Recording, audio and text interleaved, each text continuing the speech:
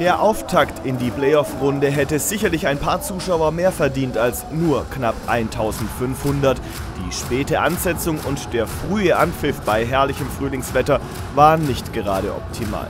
Doch die, die da waren, sahen eine engagierte und vor allem konzentrierte Leistung der Stuttgarter Volleyballmädels.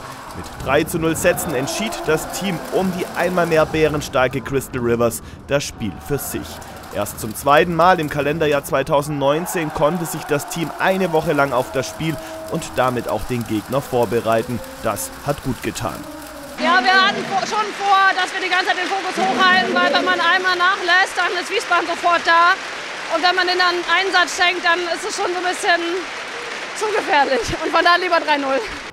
Vor allem nach der Pokalfinalniederlage gegen Schwerin sind einige Spielerinnen, vor allem auch Leistungsträgerinnen, in ein Leistungsloch gefallen. Da gilt es jetzt schnell rauszukommen. Der Anfang wurde gemacht. Das Spiel gegen Wiesbaden wirkte deutlich variabler als zuletzt.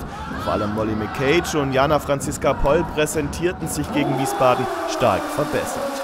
Ja, ich denke, das kann jeder nachvollziehen, dass man aus einem nach der Pokalniederlage so ein bisschen mental auch down ist und war es einfach so ein Riesenevent ist, worauf man die ganze Zeit hinarbeitet und dann verliert man das so deutlich und ja, aber das Leben geht weiter, die Liga geht weiter, wir haben noch ein Ziel vor uns und das wollen wir erreichen, ja. Da im Viertelfinale bereits zwei Siege zum Weiterkommen reichen, kann Allianz MTV am Mittwoch in Wiesbaden das Halbfinalticket buchen.